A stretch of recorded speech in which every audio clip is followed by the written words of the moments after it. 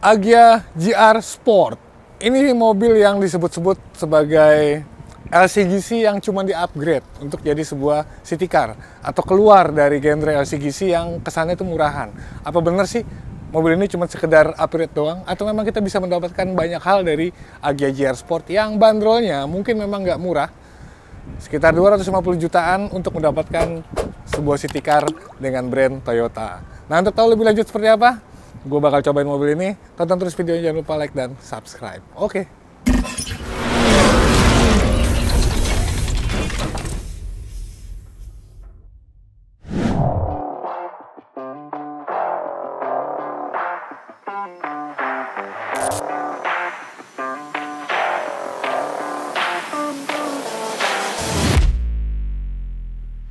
Nah, GR sendiri tuh sekarang udah jadi salah satu brand baru ya buat Toyota gitu. GR Sport, jadi beda ya. Kalau misalnya ada GR yang taruhnya di depan, misalnya kayak GR Yaris atau nanti sebentar lagi ada GR Corolla. Nah ini GR-nya itu di belakang. Jadi dia bukan mobil harian yang dibikin seperti mobil balap, tapi memang mobil harian yang dibikin seolah-olah gitu ya, sporty dan punya performa yang seperti mobil balap. Makanya ini disebut Agya GR Sport gitu ya. Nah, kalau kita lihat tampilannya memang dia jauh banget dari kesan Agya-Agya standar. Sebelumnya kita udah pernah nyobain yang tipe G ya, tipe LCGC yang paling mahalnya. Nah, sekarang ini lebih mahal lagi dan memang dia udah bukan LCGC. Kalau misalnya kita lihat dari tampilannya, ya dari depan memang jauh lebih atraktif, jauh lebih agresif gitu ya. Beneran kayak ini mobil tuh sporty banget gitu. Dari grillnya yang dibikin piano black. Terus udah gitu ada lips di sini ya. Ada lips ini juga tambahan body kit yang yang membedakan dari versi standarnya. Kemudian di bagian sini juga ini gue suka dia piano black dan ini cuma ada satu tarikan garis lurus aja buat fog lampnya. Lampu-lampunya juga semua udah LED dan ini termasuk DRL nya kemudian yang bikin ini lebih eksklusif tadi adalah Nih, ini ada emblem GR hitam merah gini. Wah, ini yang bikin mobil itu seolah-olah eksklusif, seolah-olah emang layak untuk dihargai lebih mahal. Mungkin ya. Kita balik ke samping. Nah, ini bagian sampingnya. Dia masih pakai pelek 15 inci, tapi menurut gua masih cukup proporsional lah ya gitu dengan kombinasi dual tone-nya seperti ini gitu. Nah, yang versi GR ini juga dia udah pakai tambahan body kitnya gini. Ada side skirtnya di sini. Terus asiknya lagi dia punya konsep dual tone di bodinya. Jadi yang bawahnya itu putih, atapnya nih mulai dari spion sampai di pilar dan juga bagian atapnya ini dibikin warna hitam. Juga di spoiler belakangnya yang menurut gue juga ini bikin tampilannya jadi jauh lebih sporty. Ini juga dibikin warna hitam, piano black ya. Walaupun sayangnya ketika mobil-mobil kekinian itu udah pakai shark fin antena, dia masih pakai antena-antena ala-ala remote control tapi ya ya udahlah gitu ya. Lebih bagus sih kalau shark fin buat tampilan oke okay lah. Nah ini bagian belakangnya kalau kalian bisa lihat ini juga jadi berkesan lebih rame dan dia kayak pakai rok gitu. Jadi nggak nggak nggak nggak se proporsional di bagian depannya cuman ya oke okay lah. Bagian belakang ini juga jadi salah satu bagian yang memang gue kurang suka sama desain yang terbaru dari si Agia ini. Lampunya biasa aja ini ada aksen piano blacknya juga. Nggak lupa ini ada tulisan Agia dan di bawahnya ada emblem GR Sport lagi gitu ya. Terus wiper pasti udah ada tapi dia belum ada uh, defogger defogger dikasih tahu kan ya defogger defogger iya defogger gue suka lupa nih kalau sini. Nah ini bagian sininya di bumpernya ini yang gue kurang suka. Jadi dia kayak pakai rok terlalu lebar gitu ya walaupun uh, penyematan body kit ini memang harusnya bikin dia tampilan jadi lebih sporty. Tapi menurut gue untuk bagian belakangnya jadi kayak cenderung uh, norak ya gitu ya. Tapi untuk kelengkapan fitur ya di sini udah ada uh, apa namanya sensor parkir juga udah ada kamera yang yang kalau misalnya lagi mundur kita bisa dapat uh, penampakan dari kondisi di belakang. Nah sekarang kita lihat bagasinya, ini juga udah hidrolik jadi uh, relatif enteng gitu untuk diangkatnya. Cuman ya memang karena materialnya juga dia bukan material besi-besi yang berat-berat, jadi memang pasti enteng juga sih ya. Uh, lantainya oke, okay, cukup rata dan ini ada tali buat ngangkat ini di bagian bawahnya nih ada ban serep yang full size ya, jadi bukan yang space saver. Jadi cukup oke okay juga nih, tinggal dipakein aja. Terus untuk space ya karena ini hatchback dibilang lega juga enggak, dibilang sempit juga enggak. Ini menurut gue udah cukup lumayan lah kalau misalnya galon mungkin bisa 3 atau 4 galon bisa masuk di sini gitu ya. Ini bagian sektor bagasinya. Sayangnya memang dia masih agak tinggi nih dari bagian sini ke ini. Jadi untuk kepraktisan ngangkat-ngangkat barang mungkin agak lebih ribet gitu ketimbang yang memang rata langsung ke bawah. Tapi ya inilah bagasinya. Sekarang kita coba masuk ke dalam kabinnya. Apa aja isinya? Sekarang kita masuk ke dalam kabin ini. Jadi sebelum gue duduk nih ya, ini yang oke okay lah gitu menurut gue, oh oke okay nih gitu.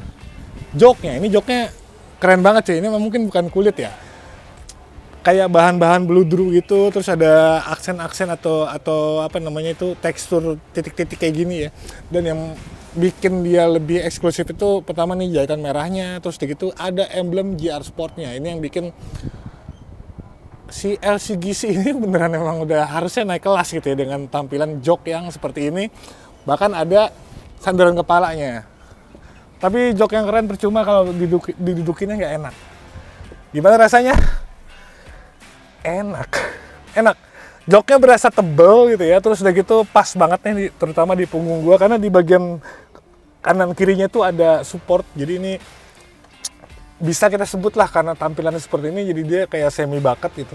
Ini yang yang yang bikin ruang kabin itu jadi berasa lebih mahal. Apalagi ditambah dengan setir yang ini udah kulit, udah gitu ada jahitan-jahitan merah dan yang gak kalah kerennya, selain ada tombol-tombol di kanan kirinya juga ada emblem GR Sport. Ini yang mungkin bikin nih posisi duduk udah enak nih ya kan set. Setirnya juga oke okay, gitu. Oh, ada pedal shiftnya juga gitu ini salah satunya LCGC eh City Car gitu bukan LCGC ini ya City Car yang udah ada pedal shiftnya walaupun dia tetap sebagai kodratnya jadi cuma bisa tilt doang belum bisa uh, teleskopik tapi ya oke okay lah. Mungkin jadi agak lebih sulit untuk menemukan kondisi atau posisi duduk yang ideal. Jadi kalau misalnya kayak gue 178 tingginya dimundurin setirnya kayak kejauhan gitu ya.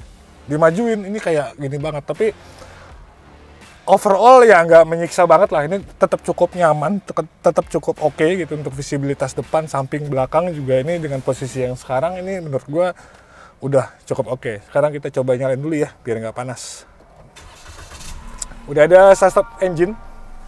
Nah MID nya tuh atraktif banget juga di uh, layar sentuhnya ini.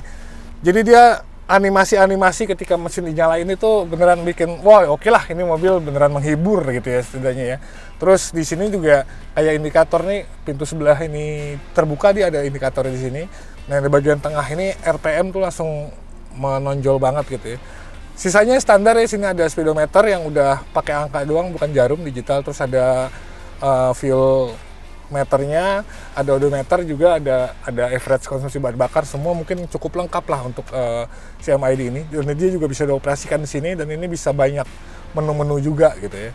Terus uh, ini layar sentuhnya dibikin floating kayak gini, menurut gue cukup oke. Okay, dan dia juga cukup responsif, tampilannya juga menarik ya gitu, ada aksen-aksen karbon di background gitu. Walaupun memang untuk konektivitas dia belum bisa Apple CarPlay atau Android Auto tapi menurut gua dengan adanya konektivitas T-Link dan juga Bluetooth ini udah cukup lumayan lah gitu ya. Udah udah udah praktis gitu dan mencukupi untuk kegiatan sehari-hari lah gitu.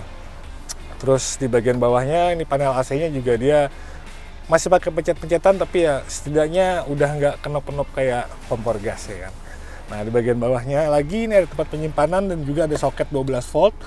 Dan ini juga lagi-lagi jadi satu-satunya LCGC eh LCGC City Car. LCGC mulu ya tapi ini City Car yang udah ada wireless charging. Jadi tinggal ditempelin sini aja smartphone lo enak. Dan ini gue sukanya juga dia responsif gitu ditempel dikit aja tuh langsung bisa ngecas gitu terus untuk tuas transmisinya juga dia menurut gue cukup lumayan oke okay. bukan dari desain. Kalau desain standar lah sini ada jahitan merah. Tapi posisinya dan gue ngerasa ini dia cukup tinggi. Jadi kalau misalnya lagi di sini tuh dari setir ke sini tuh cukup deket gitu. Enak jadinya untuk pengendalian tuh jadi lebih ngebantu banget. Ada P ada R ada N ada D dan juga ini ada uh, S dan M ya. Ini buat kita ngoperasiin si pedal shiftnya ini. Oke terus hal yang gak gue suka lagi kayak rem parkir ini nanggung banget gitu. Toyota ngasih fitur yang menurut gue cukup tanggung untuk sebuah LCGC yang di upgrade harusnya bisa lebih eksklusif lagi karena dia masih pakai tuas kayak gini nih. Ekspektasi gue sih dia udah pakai colek-colekan uh, rem parkir elektrik gitu ya, tapi ya pertimbangan harga kali. Dan di sini konsol tengahnya gue dia nggak ada sandaran tangan, dia langsung ada kayak buat cup holder aja ya, ya ada di bagian konsol tengahnya. Untuk material, aduh, ini memang agak sulit karena biar gimana pun senaik naik kelasnya sebuah Agia, dia pada dasarnya atau dilahirkan sebagai sebuah LCGC. Jadi untuk di upgrade gitu ya, kayak agak gimana ya? Kayak ini saya dashboard, ini plastik itu nggak usah lo sentuh gitu ya dilihat aja tuh masih kelihatan murahan apalagi ketika disentuh dan ini lembek banget sih empuk-empuk sih memang tapi empuknya bukan empuk bukan empuk busa gitu tapi empuk karena plastiknya memang melewat-melewat gitu ya. Untungnya ini udah ada airbag di sini juga udah ada airbag gitu. Aksen yang di sini yang garis-garis di sini juga nih ini cukup ngebantu untuk ngebikin nuansa murahannya itu jadi lebih berkelas gitu. Udah gitu ini juga ada aksen titanium yang lagi-lagi juga cukup lumayan ngebantu. Walaupun ini tuh kayak aduh gile. Nah.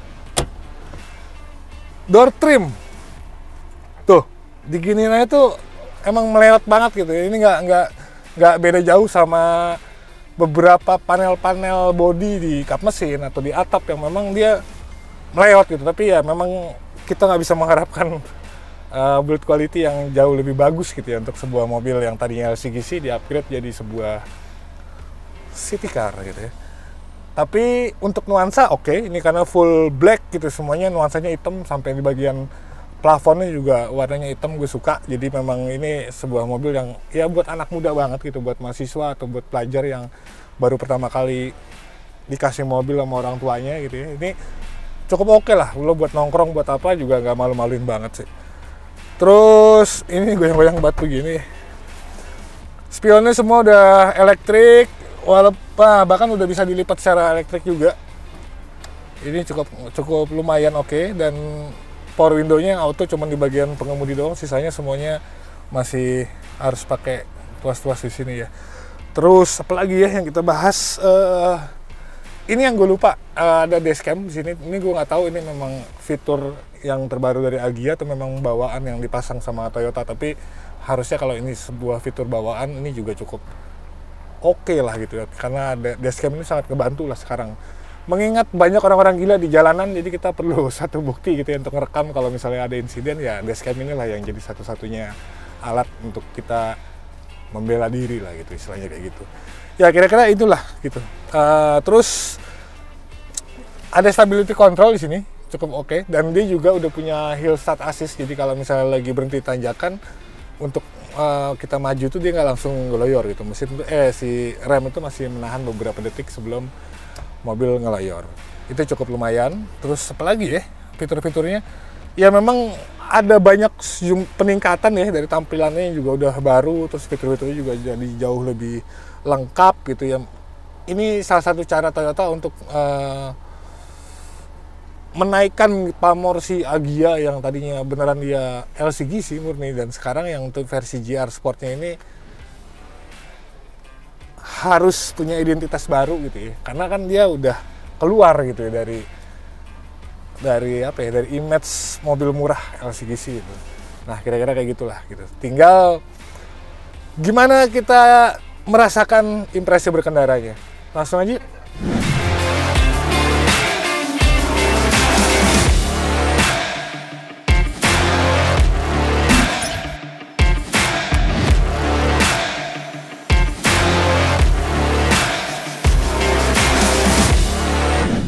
Oke, sekarang kita bakal nyobain gimana impresi berkendaranya dari si Agia GR Sport ini. Ini udah, dia udah pakai platform yang baru, mesinnya juga baru ya. 3 silinder, 1200 cc, tapi tidak turbo. Nggak seperti Yaris, GR Yaris. 3 silindernya itu dia punya tenaga sekitar 88 horsepower dan torsinya 113 Nm. Ya untuk mobil sekecil dan seringan ini sebenarnya ini jauh lebih dari cukup ya gitu. Dan ketika gue ngerasain tadi pertama kali kita jalan gitu ya nginjek pedal gas oke okay lah itu jadi salah satu ciri khas dari mesin tiga silinder itu torsinya biasanya itu langsung nendang gitu ya. Gue cukup suka jadi mobil ini tuh bisa dipakai buat agresif agresifan kayak misalnya di depan ya ini ada tikungan kita cobain. Nah dia tuh oh cukup relatif enak dan punya punya akselerasi yang nendang gitu ya. Walaupun mesinnya cuma 1200 cc tiga silinder. Tapi kelemahannya khas dari mesin tiga silinder itu getarannya memang agak sulit untuk dihilangkan. Tapi gue agak agak apa ya agak heran gitu. Uh, Toyota Razor itu tiga silinder juga 1200 dia punya eh 1000 cc bahkan ya bukan 1200 tapi getaran mesinnya tuh bisa diredam dengan baik gitu. Mungkin mounting-mountingnya juga udah ditambahin atau di, di, di, diperbaik gitu kualitasnya sama Toyota. Akhirnya jadi uh, getaran yang jadi ciri khas mesin tiga silinder itu nggak berasa. Tapi kalau di Agia ini ya mohon maaf nih terutama kayak misalnya lagi, lagi idle gitu ya sekarang kita berhenti tetap ini di nggak usah dinetralin gitu atau dinetralin pun ini getarannya tuh masih tetap berasa gitu getaran mesin khas tiga silinder itu. Walaupun memang kompensasinya secara uh, akselerasi itu jadi jadi jauh lebih nendang gitu. Nah, tuh. Jadi transmisi CVT-nya juga cukup baik untuk ngeladenin kemampuan mesinnya gitu. Cukup oke okay lah. Ya minimnya itu tadi yang gue bilang getarannya masih berasa terutama di saat lagi idle yang harusnya ini bisa diminimalisir lah mungkin nanti di pengembangan selanjutnya gitu. Untuk handling juga ini cukup baik gitu bahkan dibandingin sama yang Agia yang LCGC kenapa? Karena Toyota ternyata juga udah melakukan uh, tuning khusus untuk yang GR Sport ini. Jadi si kaki-kakinya itu atau suspensinya dibikin jadi lebih rigid lebih jadi lebih berasa sporty gitu. Walaupun memang ya agak sedikit keras bantingannya tapi untuk gue sih ya ini subjek orang gitu ya. Untuk gue gue cukup suka gitu dengan bantingannya seperti ini gitu nggak terlalu empuk nggak terlalu ngayun. Dan mobil ini tuh jadi beneran pergerakannya tuh jadi beneran lincah. Enak banget tuh lo mau pakai di jalanan sempit atau di jalanan yang yang di jalan tol gitu tuh ini tetap enak gitu ya bantingan gitu. Pas lah menurut gua ini nggak nggak terlalu keras juga nggak terlalu lembut.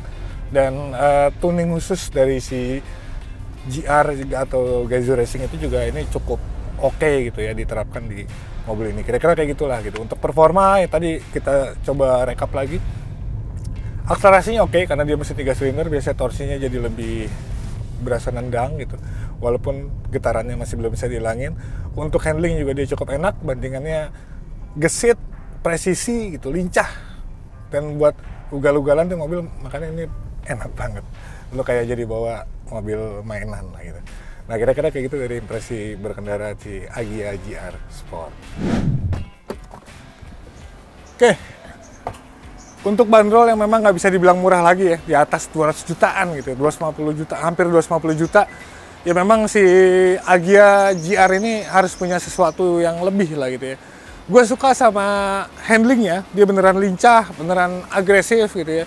Gue juga suka sama performa mesinnya, walaupun memang dengan tiga silinder jadi agak lebih getar gitu ya fitur-fiturnya juga cukup lumayan berfaedah lah gitu. Apalagi buat kita pengguna baru mahasiswa yang gue bilang ini masih mahasiswa-mahasiswa itu buat ke kampus buat mejeng buat kongko tuh pakai mobil ini udah pas banget lah gitu ya. Biaya operasionalnya rendah bensinnya irit pokoknya jadi sangat valuable banget gitu. Apalagi brandnya Toyota ya kan.